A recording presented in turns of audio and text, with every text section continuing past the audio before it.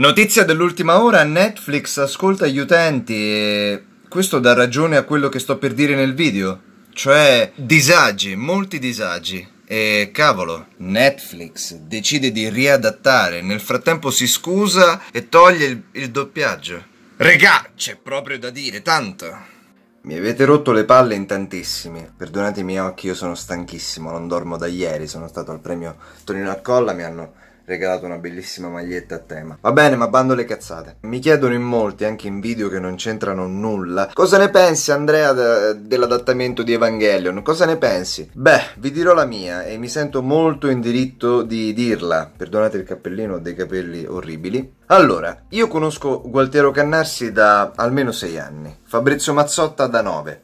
Fabrizio Mazzotta ha curato l'edizione in quanto direttore di doppiaggio, l'adattamento è stato affidato a Gualtiero Cannarsi. Gualtiero si è confrontato nel canale Astronomica Channel, si è confrontato con Dario Moccia, Gio Pizzi e altra gente che non conosco, ah Victor Laszlo. Voglio aprire una parentesi su questa live. Gualtiero è un nerd molto fiero e questo ne fa scaturire molti difetti. Proprio nerd, giappofilo, assurdo e va molto orgoglioso della sua cultura che a volte sfoggia in maniera fastidiosa, lo capisco, lo ammetto. Ma in quella live è stato tutto molto ridicolo. Intanto sei persone non sapevano reggere un'argomentazione, forse un po' Dario Moccia, ma Gio Pizzi, che è un ragazzo intelligente, faceva quelle battutine sferzanti, acide, come se volesse evidenziare la sua intelligenza, quasi a prendere in giro Gualtiero. Capisco che Gualtiero ha acceso un po' il fuoco chiamato Gio Pizzi dicendo che lui è un superficiale e che non sta attento alle opere e che non ha la sensibilità necessaria. Ma Gualtiero è ingenuo in questo senso, lui usa i termini senza cattiveria. Però una cosa che ammiro di Gualtiero in quella live è che non ha sovrastato nessuno, è stato molto educato e ha fatto parlare tutti. Non è andato sopra nessuno, non si è mai alterato. Un vero signore, molto educato e questo va detto, onore al merito. Facendo la premessa che stimo tantissimo Fabrizio Mazzotta come direttore di doppiaggio e doppiatore, la mia opinione è questa.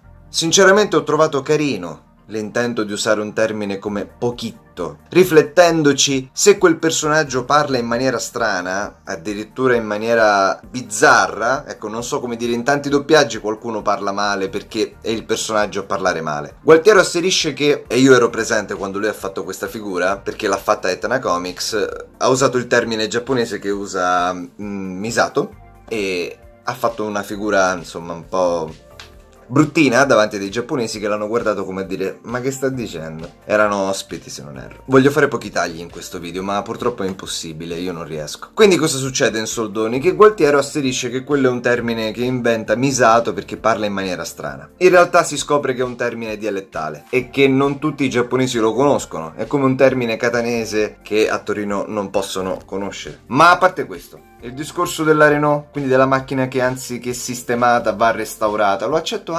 E va bene. E passi. Non sono questi i problemi che rendono incomprensibile Evangelion. Apostolo Angelo, una cazzata, va bene. Ma Gualtiero diventa indifendibile in alcuni punti nel monologo dell'annaffiatoio, che non sa nemmeno lui difendere. Lui non sa difendere quella scelta lì. Cioè lui sa di aver voluto dare quel senso, ma non lo sa difendere. Lui pensa che magari intervenendo in sala di doppiaggio i doppiatori avrebbero capito meglio, avrebbero fatto le pause giuste. No, Gualtiero, no, e tu lo sai, non ne hai l'esperienza. Mazzotta doppia dagli anni 70, dirige dal 93. È un doppiatore e direttore di doppiaggio con un'esperienza immensa e ha fatto tantissimi adattamenti. Eh, ha curato anche One Punch Man, se non erro. Io perché decido di fare questo video ora? Perché Mazzotta si è esposto. Era inutile ripetere tutto quello che hanno detto tutti gli altri. Inutile inutile perché bisognava dire qualcosa di nuovo, di diverso. Cosa posso dare io in più di Dario Moccia, di Gio Pizzi? Posso dire che bisognava parlare di Mazzotta. Ragazzi, in soldoni qual è il problema? Che Gualtiero va bene che non si cura del pubblico perché l'opera esisterà al di là del pubblico, oltre il pubblico, eh, l'opera diciamo ha una sua immortalità e il pubblico cambia, varia, ma Gualtiero sinceramente hai mostrato poca sensibilità e sei stato superficiale su un fronte. Non hai tenuto conto dei tuoi colleghi addetti ai lavori. Perché se io sento che i doppiatori si rifiutano di fare quella cosa, che non ci vogliono mettere la faccia, si vergognano, allora tu stai causando un disagio. Perché non capita sempre. Una polemica del genere non capita tutti i giorni. Non capita tutti i giorni che una doppiatrice o un doppiatore si sentano mortificati a lavorare alla tua opera. Eh, vabbè, autoopera, al tuo adattamento. Non capita tutti i giorni che un direttore di doppiaggio come Mazzotta debba ricorrere ai, ai, copioni vecchi per capire quelli nuovi. Mazzotta asserisce e dichiara che ha dovuto, e lui ha condiviso su Facebook queste cose, se ne assume la responsabilità, che ha dovuto prendere in mano i copioni vecchi per, per tradurre quelli nuovi, per ricordarli, per capirli. Cioè, Gualtiero, va bene il pubblico, ma se causi disagi agli addetti ai lavori, ai tuoi colleghi, se crei un caso mediatico immenso, cioè sei l'uomo del momento, Gualtiero, io ti conosco da anni, ma nessuno ti aveva mai considerato come, come in questo momento. Io ho visto i film dello studio Ghibli,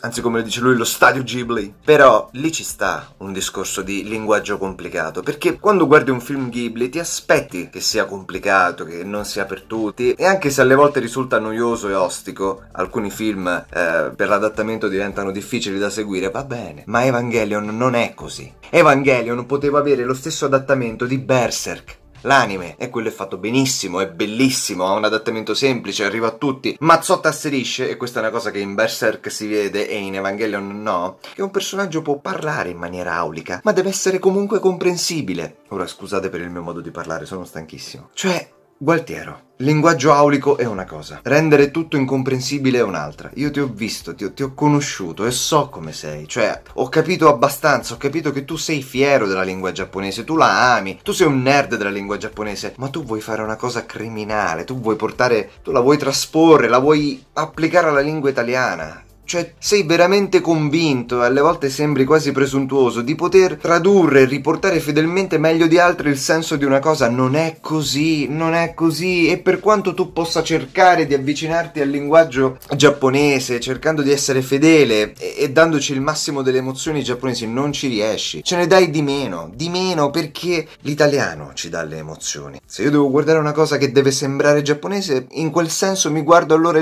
l'anime in giapponese, coi sottotitoli al massimo massimo. Ma no, se guardo un doppiaggio io voglio la trasposizione delle mie emozioni. Io voglio sentire un ti amo e deve essere ti amo, non se il mio cuore palpita e riecheggia nell'aria io ho dei sentimenti nei tuoi confronti. Cioè che cazzo, ne... no, no è, è ti amo. È l'immediatezza della nostra lingua, la bellezza della nostra lingua italiana. Non se io che tu che io non potrei, che io non potessi, che tu non faresti, ma che cazzo è? Ora senza girarci troppo intorno perché l'hanno fatto molti youtuber. Il senso del video è questo. Mazzotta si è esposto e ha detto l'opposto di quello che hai detto tu. Cioè una persona che lavora con te, che ne sa quanto te, se non più di te, che ha lavorato a molti adattamenti, appassionato anche lui di anime. Ricordiamo Fabrizio Mazzotta è la voce di Mignolo e Mignolo e Prof, Krusty il Clown, Eros di Pollon. Se lui ti dà contro e ha un'opinione diametralmente opposta alla tua, fate due domande. Magari dovevi arrivare a un compromesso. Perché quest'opera non è fatta per il pubblico, sembra fatta per te. Sembra fatta per te che ne vai fiero e che ti ostini a vederla in questo modo. Chi è che gestisce lo studio Ghibli? Non mi ricordo in Italia chi, diri- chi ha i diritti, la Fandango forse, non lo so. Loro sono fieri del tuo modo di adattare, ma perché vogliono quello, perché so che proprio lo studio Ghibli vuole quel tipo di adattamento e fallo lì. Ma secondo me Evangelion doveva avere avere un adattamento più adatto ai giovani. Se questo è diventato un caso mediatico, se ci hanno fatto i meme, vuol dire che questa storia è ridicola. E non credere che questa storia passerà presto, perché ciò che rimane su internet, ciò che diventa meme di internet, rimane negli anni per molti anni e rimarrà come uno sbaglio. Io so che tu sei in realtà umile, sei consapevole che il tuo modo di tradurre è ostico, ma qui si parla di aver creato dei disagi e se li hai creati a gente che lavora con te, gli hai mancato di rispetto, hai pensato solo al tuo lavoro, non tenendo conto del fatto che il tuo adattamento e il tuo modo di lavorare ha danneggiato e ha dato delle difficoltà agli altri addetti ai lavori che compongono l'organo doppiaggio. Tu hai adattato, ma hai creato difficoltà di, al direttore di doppiaggio e ai doppiatori. Questo tienilo in considerazione situazione e magari chiedi scusa perché. Perché è giusto dire forse ho causato qualche disagio. Sì, perché se un doppiatore, per quanto bravo, una domitilla d'amico, gente di questo calibro, ha difficoltà.